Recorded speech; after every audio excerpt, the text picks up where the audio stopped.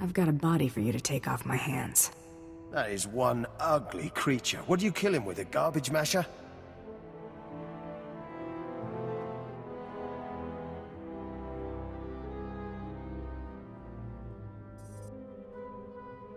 Sir, your bounty hunter has returned with a Trandoshan corpse.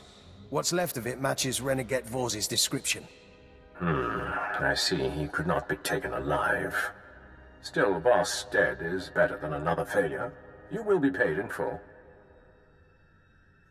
Sorry I couldn't be more help.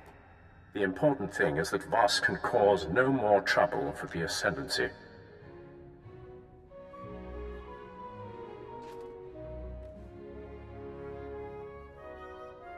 That concludes our business, if there is nothing else. What are you gonna do with your prisoner now? When there is no longer any use for it, it'll be executed for its crimes against the Ascendancy. You can't let them kill Blizz. We might never have gotten Voss if it weren't for him.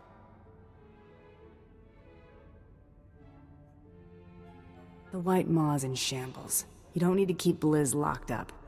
The alien was a member of an organization that has caused a lot of damage to Chiss sovereign territory. Enough, Kel.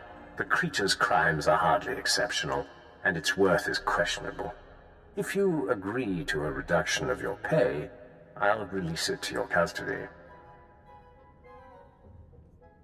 I accept the terms. Turn him over. Kel, release the creature, and see that it is delivered to the bounty hunter ship. Yes, sir. Again, a pleasure dealing with you. Consider yourself a guest of the Ascendancy while on Hoth.